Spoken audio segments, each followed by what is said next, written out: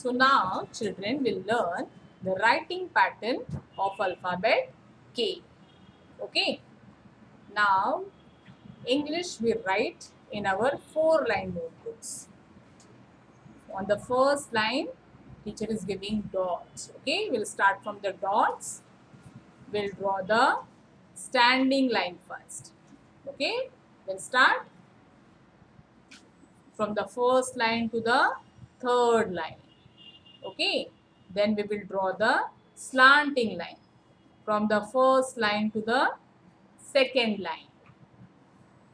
From right to left. Then from second line we will draw the slanting line coming down and touching the third line. Okay. Chalo, once again I will explain you.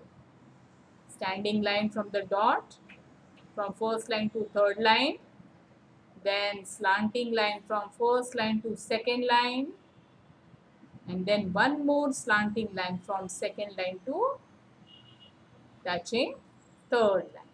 Okay? Children in this way we are going to practice alphabet K. Okay? Standing line slanting line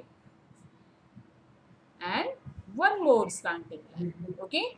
So how many slanting lines are we drawing? Two slanting lines. One standing line and two slanting lines. Okay, from first line to second line and from second line to third line. Right children? In this way, we are going to practice alphabet K. Okay, in our notebooks and English has four lines.